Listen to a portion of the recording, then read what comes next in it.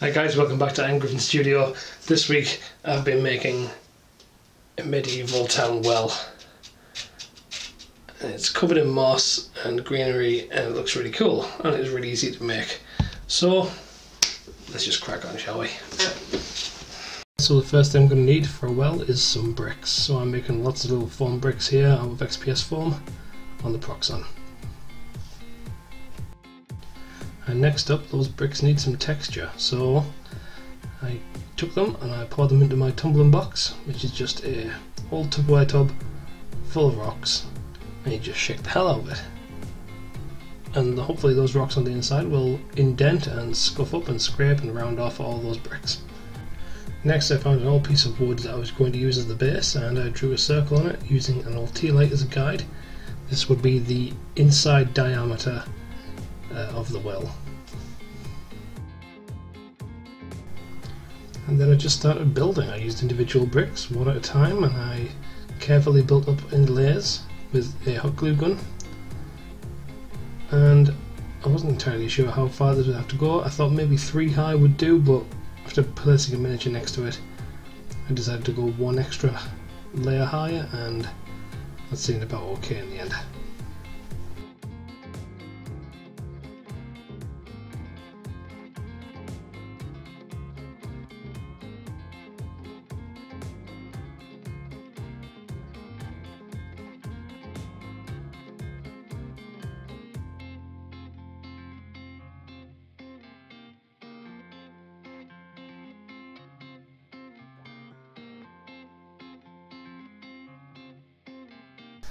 Okay, now this well has a roof, so the roof needs some supports. So I used a bit of a balsa wood and I just trimmed off one edge of it.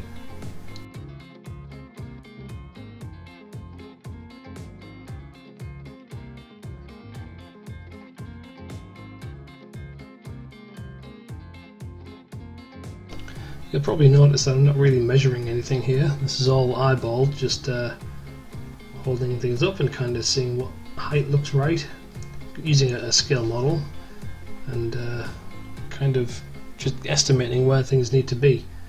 So I cut off two posts of this uh, longer length of balsa wood.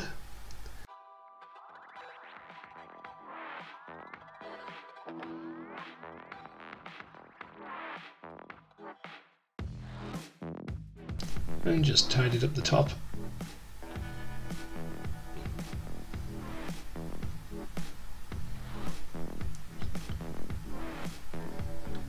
and after offering them up I decided that I wanted to kind of trim the corners off one end of these so that a pitched roof would sit nicely on the top of them. Then I textured them to give them a bit more character.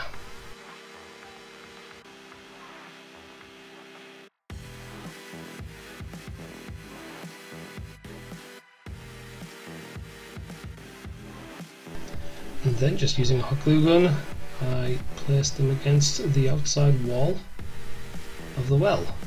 Now I definitely used way too much glue there, so I had to kind of scrape off the excess.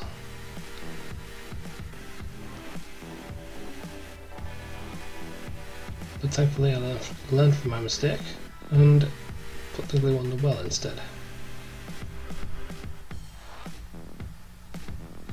Again, I'm just eyeballing this. I just that looked kind of roughly about right. Then I made a roof. Just used some graphics medium weight chipboard for this. Uh, each side of the roof is like three centimeters long. So just kinked it in the middle using uh, a score mark, and I realised that it was actually too long. It only needed to be six centimeters long. So I trimmed a bit off the edge. As you can tell, I'm pretty much making this up as I go along.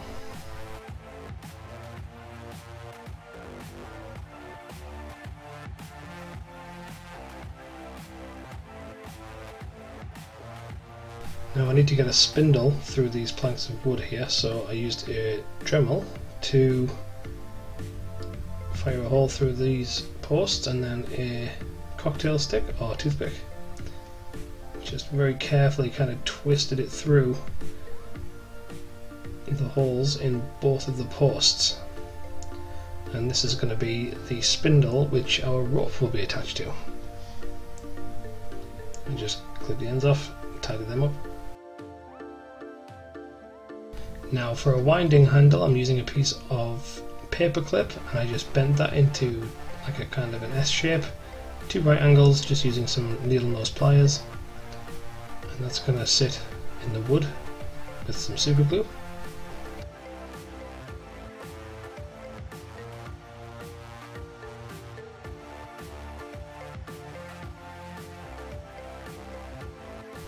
and then I attached a craft bead uh, right next to the wood on both sides just to give it a better finish.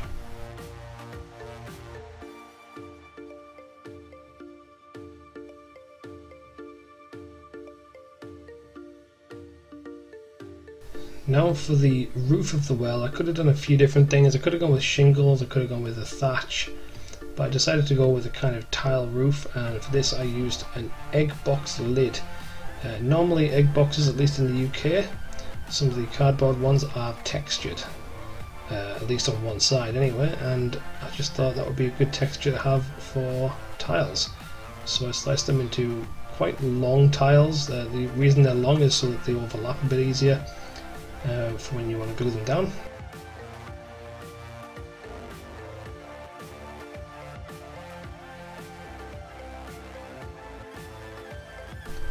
and then just take your hot glue gun, kind of splurge on some glue and stick them down. They don't have to be too neat, it's actually quite good to make them a little bit uh, off center sometimes. Now a few of these tiles did overlap a little bit in various places on the ridge and on the sides occasionally so I just trimmed them off with some scissors and then started adding some kind of bent tiles, bent in the middle and placed in exactly the same way over the top, over the ridge. Okay, so that spindle needs some rope on it, so I glued one end of the string that I used to the spindle and I just kind of wrapped it around very slowly and very carefully. This is a bit fiddly, but I got there in the end. For the string for the rope, I just used a bit of string and uh, separated all the individual strands until I had just one. And then once it was on, I just used some PVA glue to kind of solidify it all and make sure it was all uh, nicely bonded together so that it wouldn't unravel.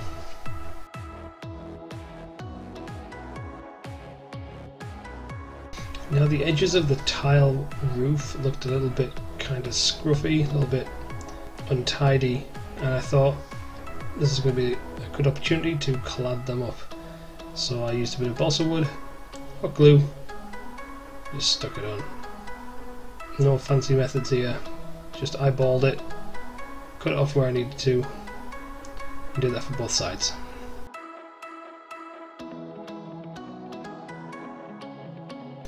Now since the brickwork is basically all foam, um, I wanted to protect it with some Mod Podge and black paint, just the same as you would do with uh, any old kind of foam terrain, whether it's dungeon tiles or house walls or whatever.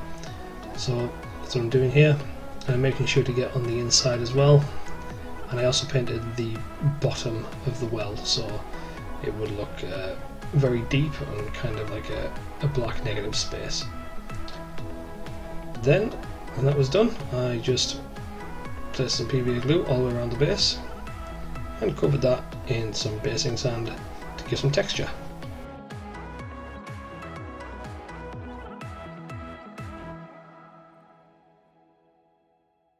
And once that was dry, I just undercoated the whole thing in some black primer.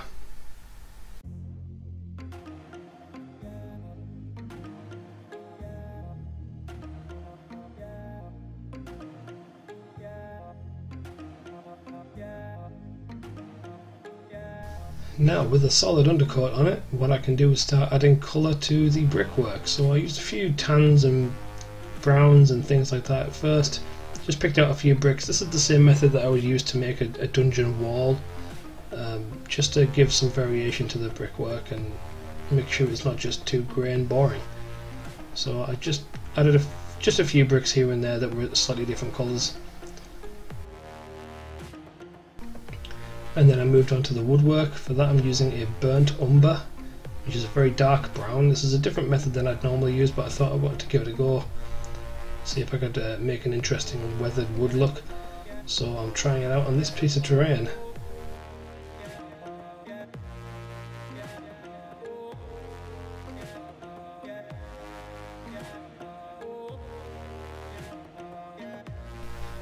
Turn my attention to the base which I used some game color earth. Uh, very watered down and just covered the whole thing. Didn't want to use too much of this so I watered it down fairly heavily. And then I moved on to the roof. And I used kind of slate like colours like some uh, some kind of greyish blues and things just to pick out some of the uh, slate and give it some extra depth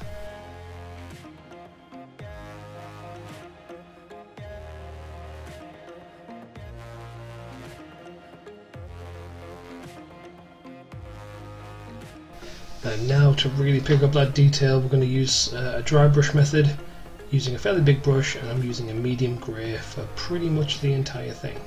So all the stonework, all that well, all of the woodwork as well, just to pick out the texture in the woodwork. You find a lot of the time wood tends to be kind of a greyish colour rather than brown.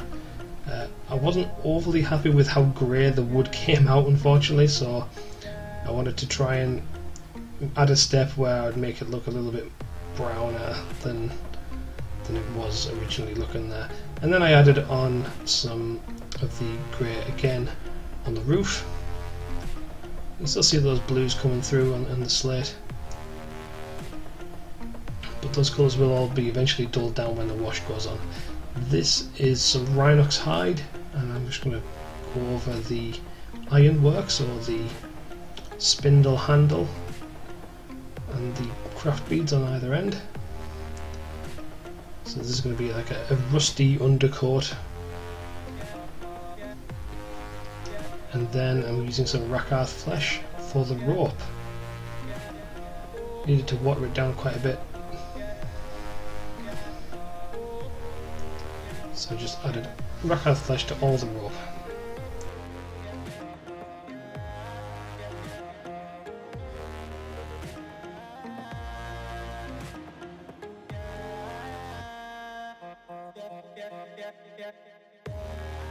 And to finish off the rusty handles, I added some Ryza Rust.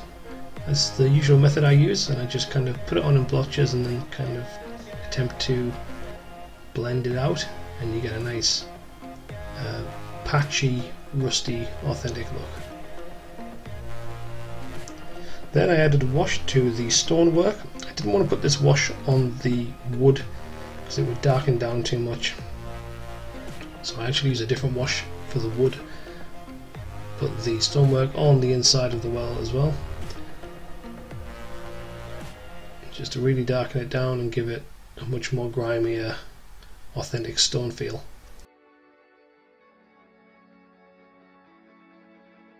Then I added some Agrax Earthshade to the rope to really pick out the texture.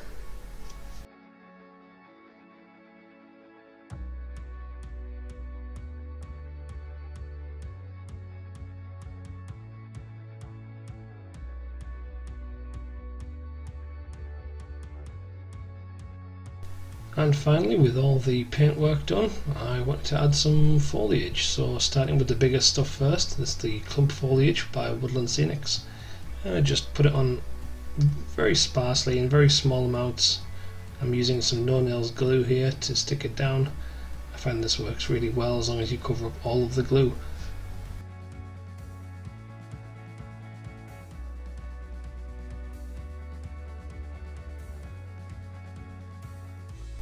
As you can see I've also added some flowers there and as I mentioned earlier I wasn't overly happy with how grey the wood was looking so I just wanted to go over it very lightly with uh, a kind of very watered down uh, brown Vallejo wash.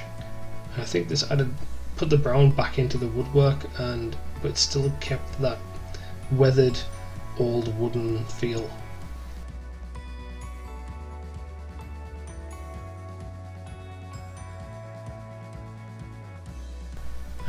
to add some grass to this, so I'm using usual PVA glue.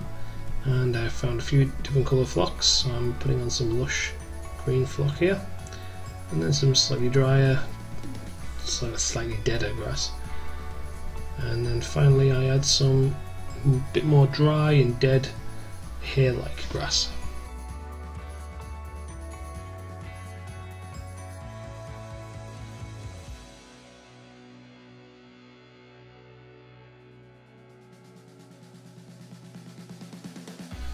Might know from some of my other videos that I absolutely love putting moss on things so I'm using Woodland Scenics Fine Turf Burnt Grass and I'm mixing that with some PVA glue which is this is my usual method for making moss.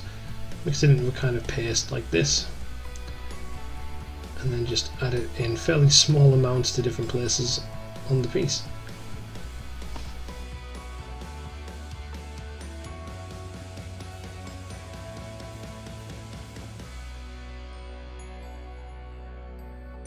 Personally, I think it looks really good when you can smear it in between tiles uh, and in kind of gaps that I think moss would usually accumulate in. So I managed to find a few bits along the edge and plenty of it on the top, up the side of the wood as well and on the well, on the stonework. Now this part here I wasn't overly happy with, it didn't look like it was very well supported. And I wanted to add a few extra bits of wood so even though I said all the paintwork was done, I, I had to add some bits just for my own peace of mind. So I cut off a few pieces, painted them up the same way as I painted the rest of the wood on the well, and I super glued them to the posts. And then I just used some hot glue and I glued the roof down onto the top.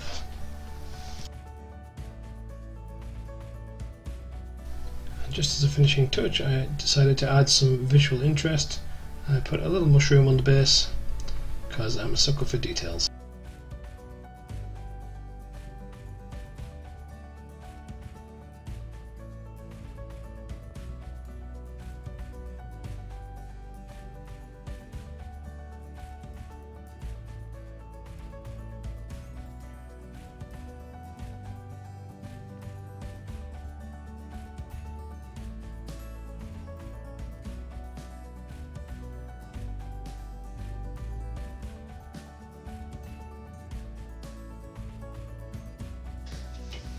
Alright, so there we have it all done. Um, really enjoyed the uh, the build. It's really quite simple and really effective. I love the uh, the moss. I think I went a bit overboard with the moss. Maybe I think it looks good. Um, I'm sticking by it. Um, yeah, and I didn't want to put any water in it. A lot of people put water in wells. I didn't want to do that because the water level in a well is actually very low down like down here somewhere. Um,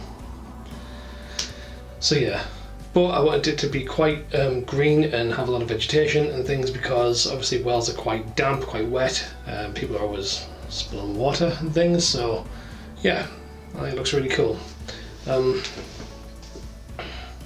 yeah, very versatile piece. Every town's got a well, pretty much, I would say. Um, just a good bit of town scatter terrain, if you like. So yeah, that's it. I think that's all for this video. Um, if you enjoyed it and you found it useful or entertaining, uh, please let me know in the comments below. Feel free to like and subscribe as well and ring that little bell button thing. And uh, also check out my Instagram if you feel like it, because uh, I'm on there now and I leave relatively useful, sometimes interesting uh, things on there. So feel free to follow me on there as well. That's all for this one though. I'll see you again next time. Stay safe and happy crafting.